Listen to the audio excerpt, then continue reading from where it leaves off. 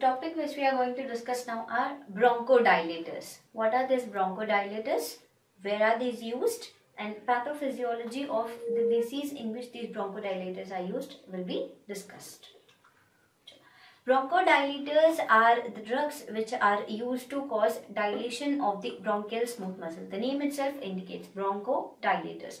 The dilation of bronchial smooth muscle is done by these bronchodilators when or where does bronchoconstriction takes place?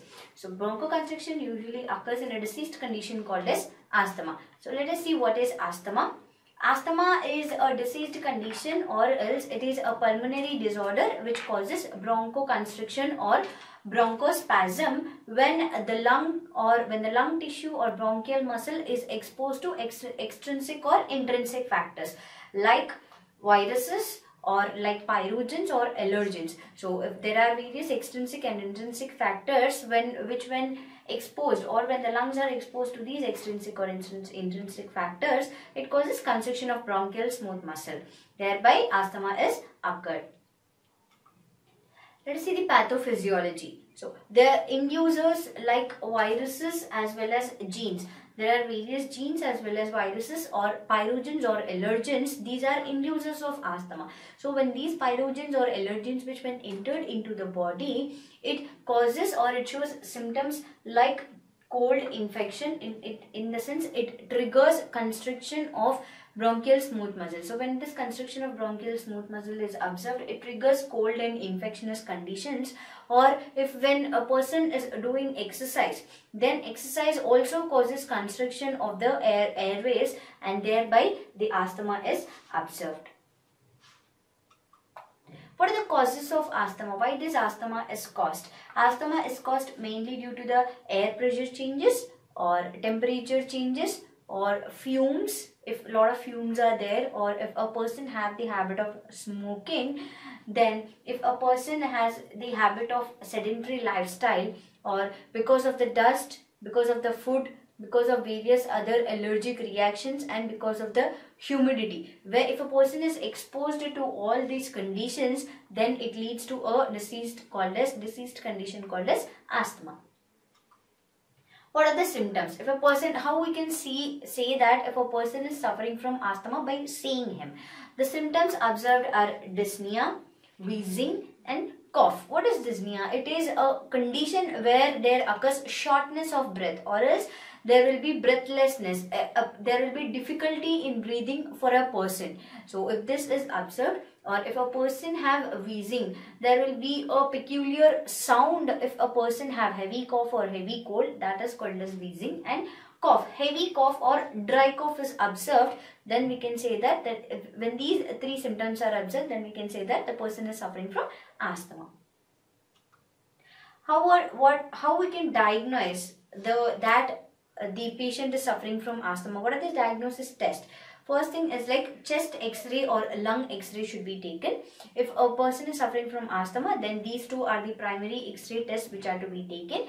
The other one is spirometry test. Spirometry test is a test which is conducted by a by using an instrument called as spirometer. So spirometer is an instrument which contains two cylinders, inner cylinder and outer cylinder where the inner cylinder contains a chain like ring which is attached to a ring which is having readings.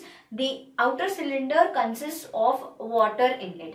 So and it has a pipe through which a person blows the air. So the reading where the the reading shows the vital capacity of the lungs in the sense how much amount of air can be accumulated in the air. So based on the readings of this spirometer, the we can say that the person is suffering from asthma or not and the other one is the probability of asthma. The person is prone to high probability as well as low probability. So what are the probability conditions of these asthma? High probability conditions. So if a person is having more symptoms of asthma like wheezing cough as well as the dyspnea conditions. If a person is having more symptoms, then high, there is high probability of asthma. And exercise-induced asthma, if a person is doing heavy exercise for more period of time or for longer period of time, then there are chances of getting high probability of asthma. And so if a person is uh, using aspirin for longer time aspirin is an NSAID if a person is using aspirin for longer time then the symptoms or side effects of these asthma causes high probability of uh, sorry the symptoms of these aspirin causes high probability of asthma and family history. If a person is having a hereditary of asthma. If his ancestors or if his uh, elders are suffering from asthma then he has uh, the chances of getting asthma high probability of getting asthma and wheezing also. The we over over wheezing conditions or over cough conditions or over symptomatic conditions also causes high probability of asthma. So if a person is having high probability of asthma then a trial treatment can be given to that person before the diseased condition can be worsened what are the low probabilities of asthma? If a person is having a slight cough or dizziness or if he is having slight difficulty in breathing as well as if there is any voice disturbance, if there is any slight disturbance in the voice for longer period of time or if he is having smoking, if he is having the habit of smoking or if he is suffering from cardiovascular disorders. So these all lead to low probability of asthma. If a person is prone to low probability of asthma, then investigation is done. Like if what are the chances of getting uh, the or what are the chances of the patient or the person suffering from asthma or the disease to be getting worsened. Let us see the types of asthma. There are four types of asthma. First type of asthma is the asthma with a known allergic condition. So if a person, there are few allergens present in the body or there are few external allergens also. So if a person is suffering from asthma with a particular type of allergen, for example histamine or bradykinins, these are the allergens which are released in the body. So we can estimate the um, uh, or else we can diagnose that the person is suffering from asthma from a known allergen. The other one is the asthma which is caused because of the specific allergic conditions. Allergen is different from allergic conditions. So already if a person is having allergy or else allergic reactions in his body, then he has a more scope of getting asthma. So known allergic or a specific allergic condition is uh, can cause asthma as well as known allergen also can cause asthma. And the other type of asthma is asthma which is caused because of COPD that is constructive coronary obstructive pulmonary disorder. If a person is suffering from COPD also, he has more chances of getting asthma. The other one is exercise induced asthma. As we do exercise for longer period of time, then we take more amount of oxygen or more amount of air intake is observed. So, at, for a particular period of time, if we intake more in uh, if we intake more air in excessive amount, then it causes spasm of that particular muscle and thereby the airway is obstructed. Bronchodilators. What are these bronchodilators? Bronchodilators are the drugs which causes dilatation of the bronchial smooth muscle. So these are the drugs which are usually recommended in asthma which when administered to the patient it causes dilatation of the bronchial smooth muscle by various mechanisms.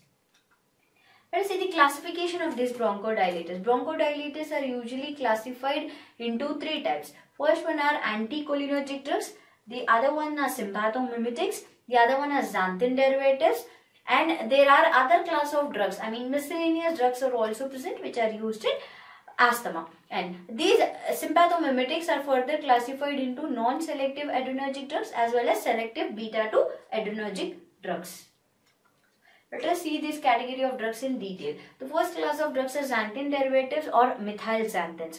So these xanthine derivatives or methyl xanthines are basically plant alkaloids like caffeine, theophylline and theobromine. But in these plant alkaloids, theophylline is mainly used as a bronchodilator. And there are various other bronchodilators or methylxanthine bronchodilators like aminophylline, oxyphylline as well as theophylline and diphylline. So aminophylline, diphylline, oxyphylline as well as theophylline. These are the major xanthine derivatives which are used as bronchodilators. Why these are considered as methyl xanthine in the sense because they have 1 and 5 methyl groups. They, they contain methyl groups in 1 and uh, C1 and C5. That is the first carbon atom and fifth carbon atom are consisting of methyl groups in their structure. Let us see the mechanism of action of these methyl xanthines. Methyl xanthines act by inhibiting an enzyme called as phosphodiesterase. Phosphodiesterase is such an enzyme which converts cyclic AMP or cyclic GMP to GMP where it causes constriction of the bronchial smooth muscle. So this phosphodiesterase enzyme when inhibited then the cyclic AMP levels will be reduced and whereby it causes release of NO that is NO is nitric oxide which causes dilatation of the smooth muscle. So it mainly acts by inhibiting the phosphodiesterase enzyme. What are the drug effects? What what happens if methyl xanthines are taken? When methyl xanthines are taken, it is very simple. There occurs broncho dilatation or, or else dilatation of the or relaxation of the bronchial smooth muscle.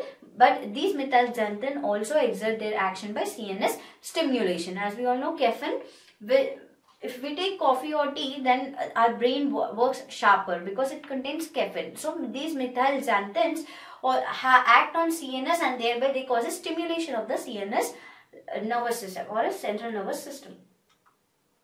What are the therapeutic uses of these methylxanthines? Methylxanthines are used in chronic asthmatic disorders. If a person is suffering from asthma for chronic chronically, then these methylxanthines are used and but they are not used in acute asthmatic agents. Initially, if a person is having or showing the symptoms of asthma, then these methylxanthines are usually not recommended. And these methylxanthines are also used in the prophylaxis treatment of COPD, that is coronary obstructive pulmonary disorders.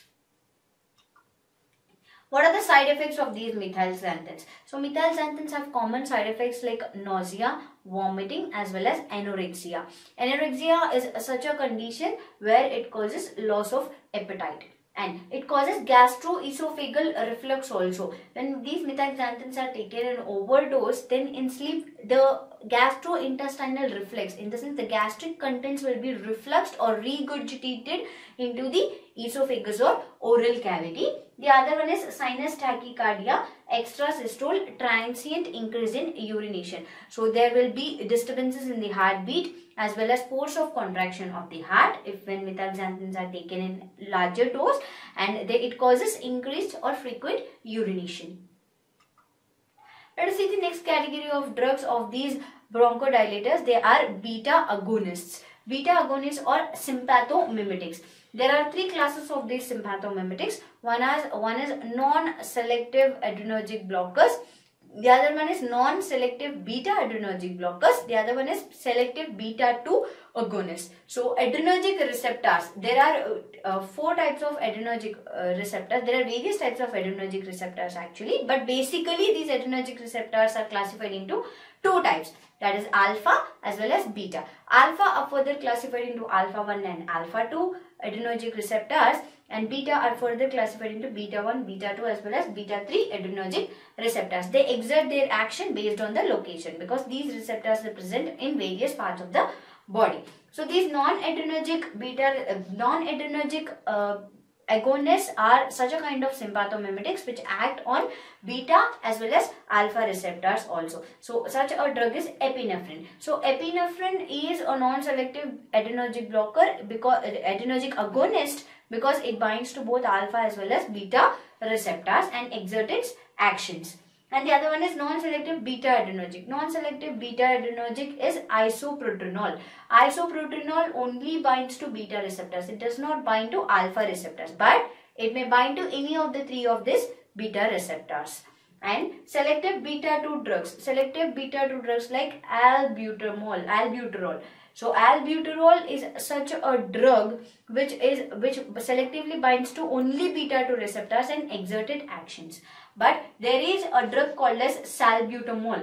Salbutamol is also beta 2 adrenergic agonist but it is contraindicated in asthma because it have the action of potentiation of bronchoconstriction. It shows the action of constriction of bronchial muscle. So that is the reason salbutamol is the only beta 2 adrenergic drug which is contraindicated in asthmatic condition. Mechanism of action. The mechanism of action of these beta 2 agonists is very simple. These adrenergic receptors or sympathomimetics, they bind to the receptors like alpha, beta, beta based on the their selectivity they bind to their particular adrenergic receptors and they show the action of bronchodi uh, bronchodilation and thereby the dilation of the bronchial smooth muscle or they show vasodilation also. So based on the receptors to which they bind they exert their action. The ultimate result is bronchodilation what are the therapeutic uses of these beta 2 agonists or beta adrenergic drugs? So beta adrenergic drugs have various uses like they are used in hypertension, they are used in uh, shock treatment, they are used in the treatment of shock as well as they are used as bronchodilators in the sense they prevent bronchodilation or they give relief, relief to the bronchial smooth muscle and they are used to produce uterine relaxation also. They are used in the relaxation of uterine muscles also and they have a therapeutic use called as hyperkalemia. They allow the entry of potassium into the muscle where the excessive amount of potassium is observed in the uh, kidney walls or else uh, nephron walls. What are the side effects of these beta adrenergic blockers? So alpha and beta adrenergic, non-selective adrenergic, uh, uh non-selective adrenergic agonists have particular side effects like insomnia, restlessness, anorexia as well as cardiac stimulation and vascular headache. So anorexia is a condition where loss of appetite is observed and insomnia is a condition where sleeplessness is observed.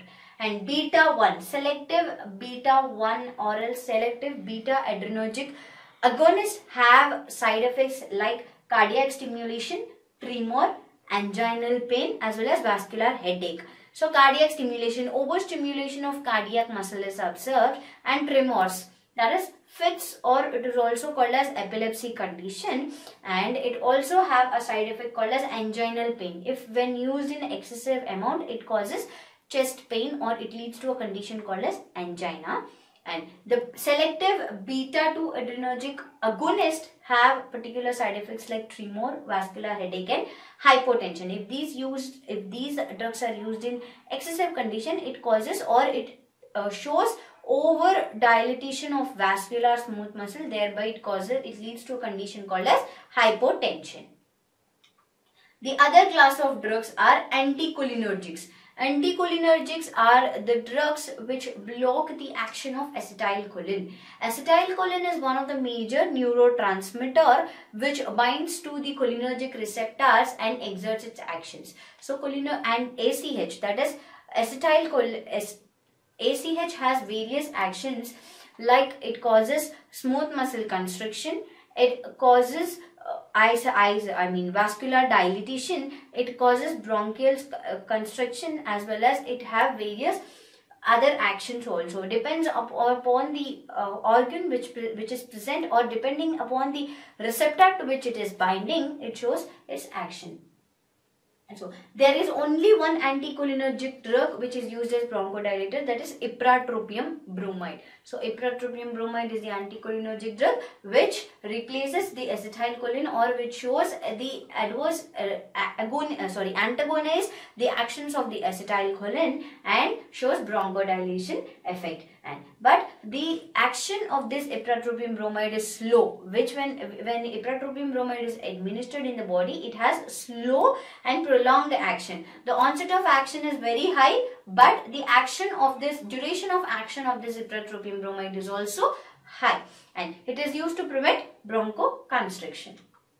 The, if we can see this mechanism of action that is synaptic nace or else synaptic circle where the acetylcholine is released from the neuron. When neuron releases acetylcholine into the synaptic nace or synapse interval, there we can see the acetylcholine receptors. This acetylcholine bind to those receptors and exert its actions. But ipratropium bromide, it prevents the acetylcholine to bind to the receptors and thereby it shows bronchodilation. What are the side effects of these anticholinergics? All mostly all of the anticholinergics have the common side effect called as dry mouth. So when these anticholinergic uh, cholinergics are administered in overdose, it causes dryness of the mouth, it causes gastrointestinal distress, it shows common side effects like headache, coughing as well as anxiety but there are no known drug interactions are observed so this is the useful point of these anticholinergics The other class of drugs are anti-leukotrienes, anti-leukotrienes, corticosteroids as well as mast cell stabilizers. These are the drugs which are used in miscellaneous category. So anti-leukotrienes, anti-leukotrienes are the type of drugs which are used to antagonize the leukotriene receptor action. So these leukotrienes bind to the leukotriene receptors and exert its actions. So these uh, leukotriene receptor antagonists or anti-leukotrienes, they prevent the leukotriene to bind the receptors and exert its actions. So mainly currently three drugs are used that is Mon Mon montelukast, zafirlukast and zileuton. The mechanism of action. These leukotrienes bind to the leukotriene receptors which are the type of PPAR receptors. These are the type of receptors where leukotrienes bind to those and exerts its action. So they these leukotriene receptor antagonists they prevent the binding of these leukotrienes to those particular receptor and exerts its action thereby preventing bronchoconstriction. What are the drug effects? What are the effects of these leukotrienes? First thing is like they prevent the smooth muscle contraction they decrease mucus secretion. So in asthma, excessive mucus is secreted whereby it causes narrowing of the bronchial smooth muscle. So this over mucus secretion is decreased as well as bronchoconstriction is prevented as well as it prevents vascular permeability. Over permeation of these electrolytes, water or other whatever the ions which are present in the body, the over vascular permeability is prevented by these leukotriene receptor antagonists. What are the therapeutic uses of these leukotriene receptor antagonists? These are mainly used in chronic asthma but these are not recommended for acute asthmatic conditions. And montelukast is a anti-leukotriene which is recommended for the children which is recommended for the children in the at the age of 2 or above. What are the side effects of these leukotriene receptor antagonists? So it has various side effects. Zileuton has side effects like headache, dyspepsia, nausea, dizziness, insomnia and liver function. So dyspepsia is a condition where stomach upset is observed and insomnia as, as I told you it is sleeplessness and zafirlukast have common side effects like dizziness, nausea, diarrhea, liver function as well as severe headache. And when compared to these two drugs, montelukast have very few side effects. That is common side effects like headache and nausea can be observed with montelukast. Corticosteroids. Corticosteroids are other miscellaneous class of drugs which are anti-inflammatory agents. These act as anti-inflammatory agents and they are used in chronic asthmatic conditions. These are also not recommended for acute asthmatic conditions and these corticosteroids are marketed or else they are available in the market in the form of oral as well as inhaled doses. So oral corticosteroids are also available as well as inhaled corticosteroids are available. But inhaled corticosteroids show more or beneficial effects when compared to oral corticosteroids. The mechanism of action. These oral corticosteroids, they stabilize the membranes of the cells. See, the, there are few membranes or else there are allergens which are present in the body. Histamine, bradykinin are examples of these allergens or chemical mediators which are released by the membranes in the body. So these corticosteroids, they stabilize these allergens and thereby preventing the constriction of the bronchial smooth muscle in the body leading to the bronchodilation. Inhaled corticosteroids, the, what are the as inhaled corticosteroids are more preferable than oral corticosteroids, the inhaled corticosteroids which are available in the uh, market are beclomethasone and the other one is dexamethasone and flunisolide. Flunisolide, dexamethasone, beclomethasone and triamcinolone. These are the inhaled corticosteroids which are available in the marketed formulation. The therapeutic uses. What are the therapeutic uses of these corticosteroids? The ultimate therapeutic uses of these corticosteroids are broncho spasm prevention or else it causes bronchodilation. There are various other uh, effects so there are, there are various other uses of these bron uh, corticosteroids also but these are mainly recommended for asthmatic conditions or respiratory disorders but these are not used as first line drugs for asthma because xanthine derivatives or methyl xanthines are used as first line drugs for asthma conditions. What are the side effects of these corticosteroids? These corticosteroids show common side effects like cough, dry mouth. These are the co common side effects with uh, these oral corticosteroids or inhaled corticosteroids but it causes the special side effects of these corticosteroids are pharyngeal irritation it causes irritation in the pharynx or windpipe the other one is oral fungal infections if a oral corticosteroid is taken. Sometimes it may lead to or if it is taken in excessive dose it causes fungal infection in the oral cavity. The uh, last class of these miscellaneous drugs of bronchodilators are mast cell stabilizers. There are only two types of drugs which are uh, present in mast cell stabilizers that is cromolyn and ni uh, sorry cromolyn and nedocromil. So cromolyn and nedocromil are the two mast cell stabilizer drugs which are used as bronchodilators. So the mechanism of these mast cell stabilizers are these mast cell stabilizers they block the calcium channels which allow or which allow the entry of these allergens into the body. So if a allergen like histamine if it has to enter into the body or blood circulation, it has to pass through the membrane through the calcium channel. When this calcium channel is blocked, then the release of histamine into the blood circulation is prevented. Thereby, it is stabilizing the cell membrane. So, that is the reason these mast cell stabilizers are used. And the histamines or chemical mediators or allergens are released from mast cells which are present in the body. So, they prevent the release of these allergens from the mast cell membrane into the systemic circulation. What are the therapeutic uses of these mast cell stabilizers? They are mainly useful in the COPD that is constructive coronary obstructive pulmonary disorder and they are not recommended for acute asthmatic conditions. These mast cell stabilizers are also given for long term treatment of asthma but they are not used in acute attacks of asthma. And they are also given or they are also recommended in exercise induced bronchospasm.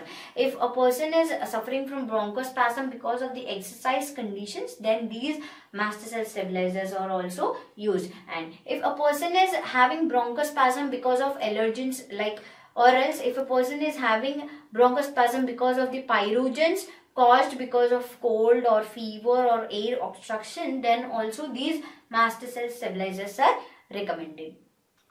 What are the side effects of these mast cell stabilizers? It has common side effects like cough, dizziness, headache. Cough, dizziness, headache are mainly the common side effects but there are rare side effects like sore throat, we, there will be some kind of throat infection and rhinitis. Rhinitis is a condition where inflammation of mucous membrane of nose is observed. If a person is taking these mast cell stabilizers for longer period of time, then there occurs inflammation of the mucous membrane of the nose and it causes bronchospasm also. These mast cell stabilizers are taken in longer dose, then it causes bronchospasm in spite of bronchodilation.